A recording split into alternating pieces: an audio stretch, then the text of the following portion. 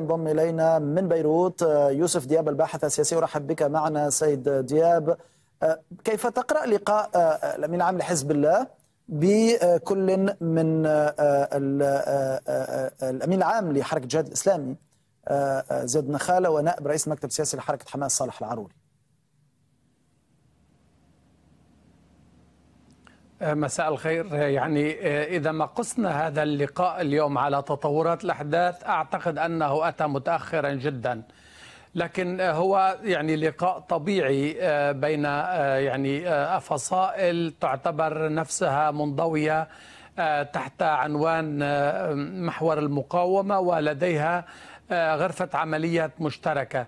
لا شك أن هذا اللقاء يحمل دلالات كبيرة خصوصا وأن أتى أنه أتى بعد أكثر من أسبوعين على انطلاق عملية طوفان الأقصى والحرب الإسرائيلية على الشعب الفلسطيني في غزة. بتقديري هذا اللقاء يعني تخطى المجاملات ولقاء الحلفاء إلى ما بحث سواء في الهمس أو عبر وسائل الإعلام عن تأخر حزب الله في مساندة حركة حماس في الحرب التي تشنها إسرائيل عليه في قطاع غزة وعلى الأبرياء في من المدنيين في قطاع غزة. لا شك أن اللقاء يعني انطوى على مصارحات كبيرة.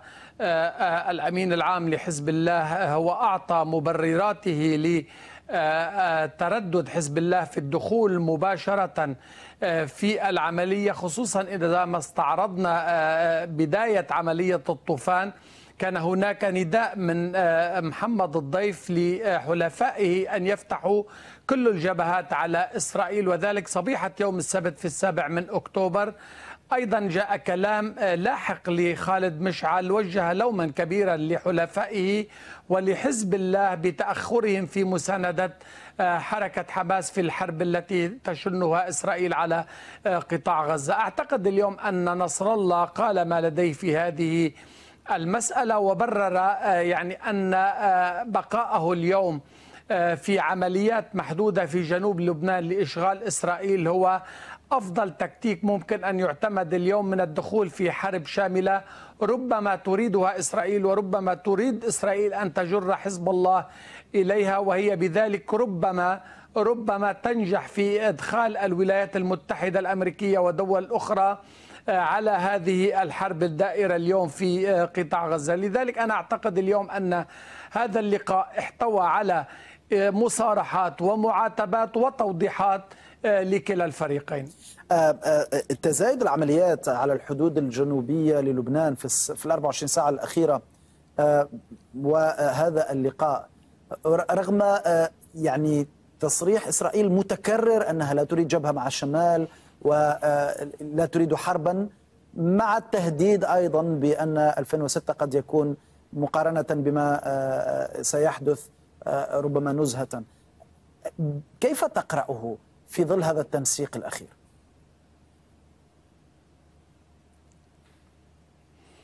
يعني واضح اليوم أن حزب الله يقول عبر قياداته صحيح أن الأمين العام لحزب الله حسن نصر الله لم يخرج إلى الإعلام ولم يلقي أي خطاب لكن بمراقبة يعني تصريحات قادة حزب الله هو يقول أنه اليوم في قلب المعركة وهو جزء من الحرب التي يعني يخوضها ضد إسرائيل وجزء من مساندة فلسطين اليوم في هذه المعركة.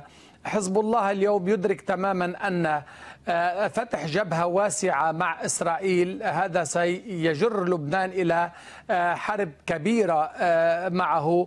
هو يتقن تماما فن الحرب حزب الله. لا شك أنه يعني هو لديه خبرة في هذا الموضوع رغم العتب الذي يوجه إليه. لكن أنا بتقديري اليوم هذا التمني أو ربما هذه المونة التي يعني تأتي من إيران سواء لحزب الله أو لباقي حلفائها في سوريا وفي العراق والحوثيين في اليمن. مردها إلى أن إيران أيضا لا تريد أن تتورط خصوصا اليوم وأن الولايات المتحدة الأمريكية بأساطيلها باتت موجودة في البحر المتوسط وهي وجهت تحذيرات مباشرة سواء من الرئيس الأمريكي أو من الرئيس الفرنسي أو من كل آه الذين ساندوا آه إسرائيل في هذه الحرب بأن أي تدخل لأي طرف سيقود إلى حرب إقليمية. حزب الله وإيران يدركان تماما حساسية هذه المسألة لكن هناك اعتبار آخر بأن محور المقاومة وحزب الله يترقب بدقة ما إذا كانت إسرائيل بالفعل ستقدم على اجتياح بري لقطاع غزة. عندها ستتغير المعادلة عندها لا يبقى الأمر في إطار العمليات المحدودة المضبوطة على إيقاع معين في جنوب لبنان. عندها قد تتوسع الحرب لأن حزب الله مدرك تماماً بأن كسر حماس في غزة مسألة غير مسموحة.